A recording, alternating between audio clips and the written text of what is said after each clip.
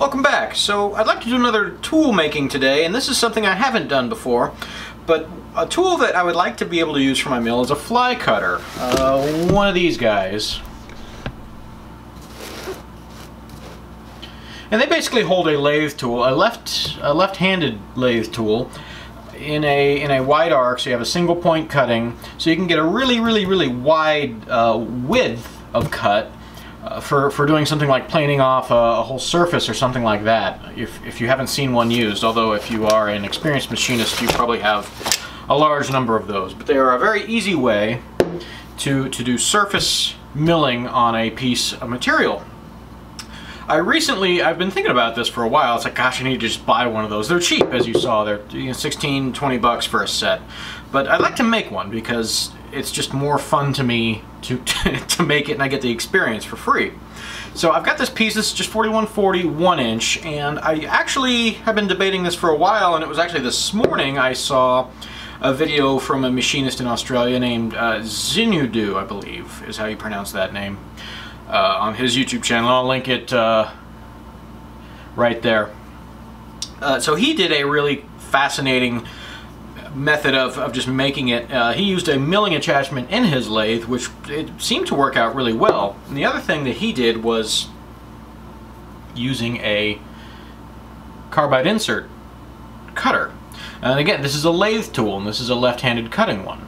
I've got a few of these. I, you know, I've, I picked up uh, one of the cheap sets from Harbor Freight. This is the, the 20 or whatever dollar set, and they actually work pretty well. I believe they are a C2 grade carbide which is a lower grade of carbide, I do know that. But I've had really good luck with these, just turning all sorts of stuff, aluminum, uh, 4140, uh, stainless of a few different varieties, and um, I, I wish and aim to move to better insert tooling. I know these are pretty substandard as far as a lot of that goes, but they have worked pretty well as far as just a grab and go.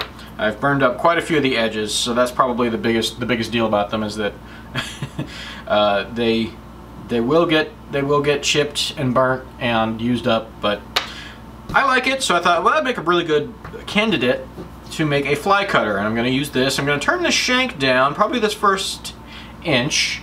We're just going to kind of do this a little bit on the fly here, just kind of plan as I go. But I've got I've got it in my head.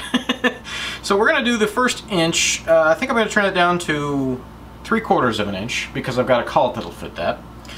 And then we will go over on this side and we'll cut off the center axis, we will cut a quarter inch trough slot, slot for this to fit and we'll actually have to cut this at an angle.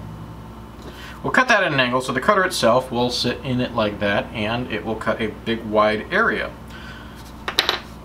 We will also flatten the side parallel to that slot, flatten one side, and drill a couple holes for set screws to hold our our tool in place. So this will be an experiment. Uh, hopefully this all works, and if it doesn't, you won't see this video. The first task is to clean up the ends of the stock here, and I'm just facing them off to give a nice clean look for the final workpiece, as well as to give us a reference surface for making marks. I made a mark about an inch and a quarter for the shoulder of the shank here, and it really doesn't matter as far as the length goes. It's, it's non-critical.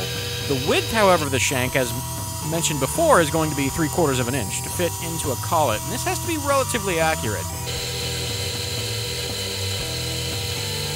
I got it to within about three thousandths of an inch, and truthfully that's fine by me. It'll still fit in the collet just fine.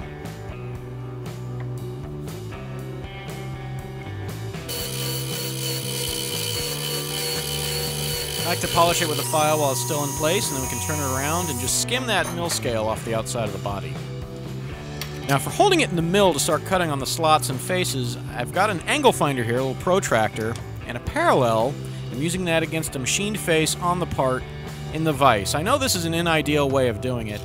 However, it actually worked really well, and it was just the way I chose to go about it.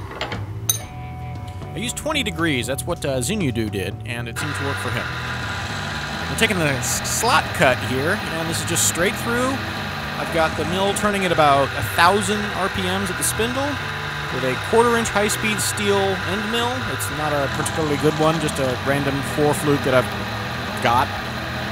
And we're taking about 20,000 deep cuts every pass.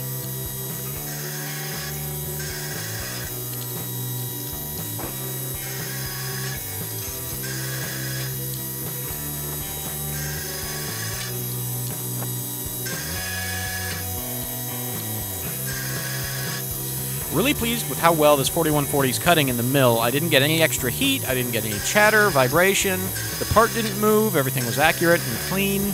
I was really, really pleased with this entire operation.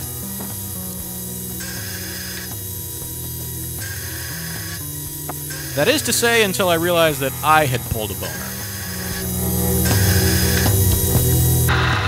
Now, of course, our slot is off center line, which is important to this whole project, but the problem is that I put it on the wrong half of the center line, and I can only use, that's a right-handed lathe tool. So that means I'll have to just turn this backwards in the mill. Luckily, I can just flip a switch and it will turn the spindle in reverse, which is fine, but it, it was pay attention to what you're doing, kiddos. With that done and out of the way, I've decided to just pull through and go forward and start making cuts on this flat here. I'm going about 10 thousandths at a time, and this will be where the set screws to hold the tool in place are going to be drilled into. I kept the depth the exact same uh, to start with,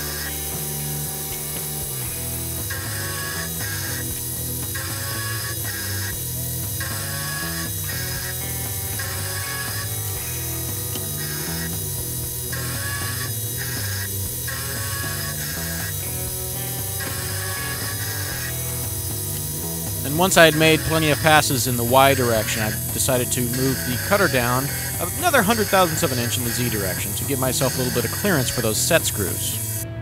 Well, there's that. I'm actually really proud of uh, how this has come out so far, even though it's, well, it'll use the, the correct bit the wrong way. Or the wrong bit the correct way, however you want to look at it, but uh, I can't believe I uh, messed up which which side to put the trough in, the slot. So it's not uh, scrapped, but that's just a testament to pay attention, kids. But uh, here we are, and now we just need to put some set screws in here. And this part's as easy as doing some simple layout. I've just used some calipers here to scribe a line that's parallel with what will be the bottom of the slot, which consequently is also the bottom of this face here.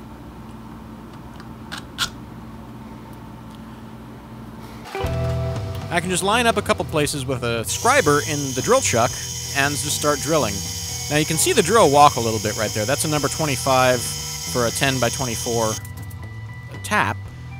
And I'm hand turning the tap in the drill chuck. I did end up following it through uh, with just a, a hand tap holder, but I got it started in the mill, made it a lot more accurate. But I specifically did not use a center drill for the, this operation. You can see again that it just it drives me up a wall how easily that walked. So another lesson learned that center drill always makes for a far more accurate hole, even on a pretty simple and straightforward drilling operation like this one was. But with that done, now all we can do is a little bit of cleanup to kind of get rid of all those burrs from the tapping and drilling process, as well as any leftover from all the previous operations. And despite my own craftsmanship, I think it's actually looking pretty good.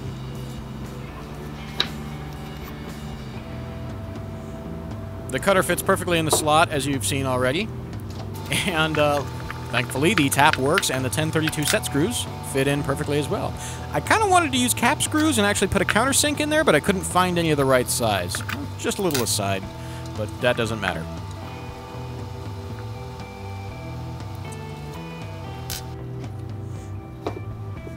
Now with an insert all mounted up, it's basically ready to go. Let's uh, take it for a spin.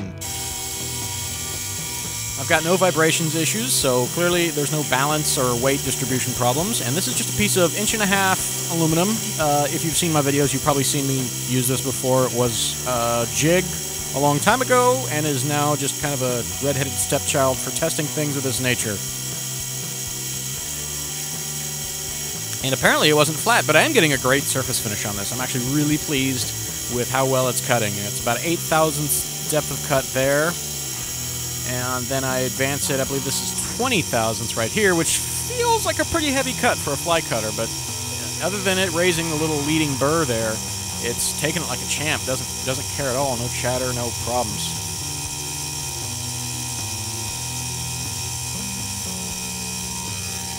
One of the interesting things about this tool is that in watching how the tool affects the workpiece as the as it crosses it on the back half of the swing, you it, it can actually be an indicator for the tramming of your mill, and it looks like I may need to work on that.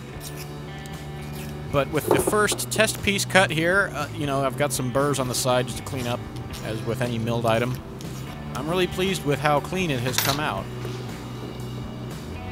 That's a that's a really nice finish, in, in my opinion. for whatever that's worth. It works, and that's really cool, and it's going to help me a lot for a lot of projects. It makes a nice, wide, flattening cut. It makes for a nice machined true surface. Super quick and super easy. It's great. Now, to make it look a little bit more professional and give it the least amount of protection, I think I'm just going to go ahead and blacken it, or blue it, using some gun bluing paste. This is uh, Birchwood Casey makes it, and this is the paste form. I've seen a lot of other machinists, especially ones here on YouTube, use uh, some of the more liquid forms that you can just dunk the whole part in, and I would actually prefer some of that. This is just some stuff I have lying around, and it works okay. I, for larger pieces, it's really hard to get a really even surface, but uh, it also, you know, it's like it just takes away that uh, that white metal look. Now, in the interest of further testing, I wanted to try it on some scrap cold-rolled steel. And I think I've got the spindle speed set exactly the same as I had it for the aluminum, and we're just going through, and it, it cut it just brilliantly. This whole pass, I think, took about two minutes and change. I can't get the spindle quite as fast in reverse as I can in, in forward, so a faster spindle, I think, would be better. So I may just make this again and do it correctly. The other thing that would help would be a power feed of some sort. Uh, cranking by hand kind of makes it challenging to get a perfect finish, but it does come out really nice. The steel came out pretty pretty decently. I'm pretty pleased with how, how well it came out. It's got a, a little bit of that waviness there, but again, I think a lot of that was lack of power feed. Now this piece of aluminum is a nice big wide piece. I kind of wanted to see how well I could get the whole face cleaned up.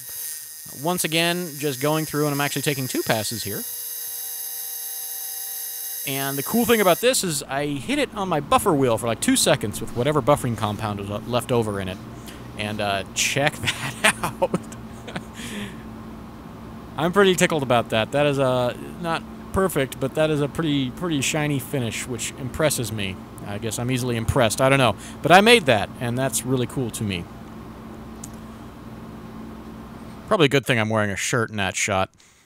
There's the part. There's the tool that I made out of just some 4140 steel. I did not have this tool the other day, and now I do, and that's very cool to me. This is something I will very much use.